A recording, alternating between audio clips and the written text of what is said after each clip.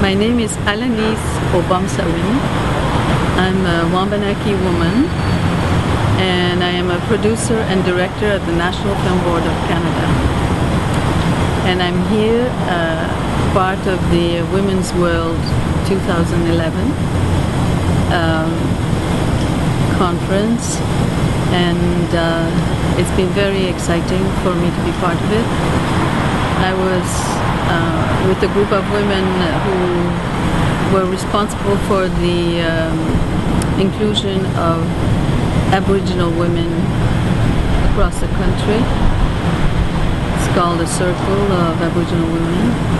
And that also has been uh, challenging and very exciting to think uh, there would be so many women here, close to 2,000 women. I've attended several uh, workshops and it's so moving, each one of them that I have been at. And more and more, I just can't get over the responsibility that women are taking, mainly very, very young people that have um, created circles for themselves and organizations for themselves to make changes. Uh, I don't think I've ever witnessed so much responsibility from women, but also from very, very young women and young girls.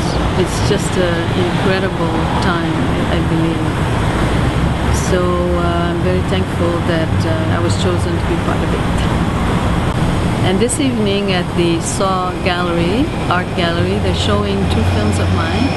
One very old one that was made in 1975 for, it was the year of the women it's called Mother of Many Children, and the la- the next one is the last film that I made, and it's called When All the Leaves Are Gone.